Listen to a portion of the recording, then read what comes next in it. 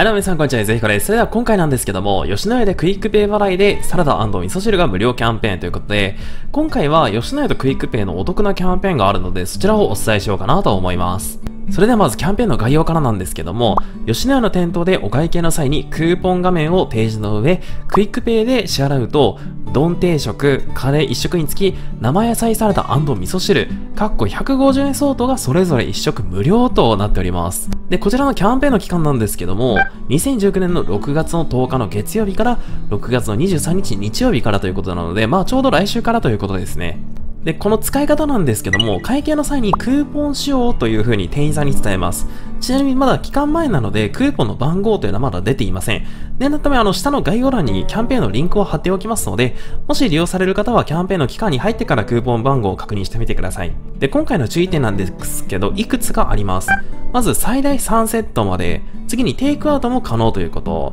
次に定食に含まれるサラダ味噌汁には利用ができないということ、他のサービス券の利用併用は不可。場所によってはクイックペイが使えない場所もあるということ。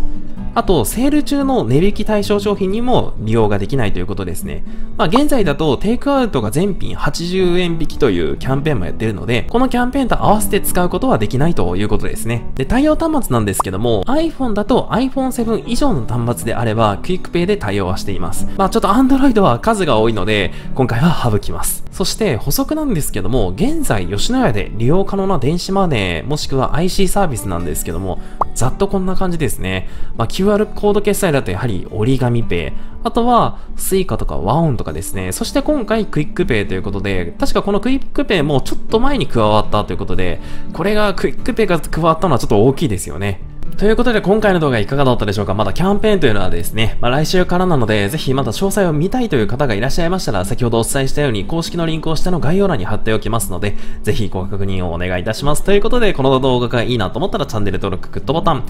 あと Twitter もしてますので、Twitter のフォローなどしていただくと嬉しいです。ということで本日はご視聴どうもありがとうございました。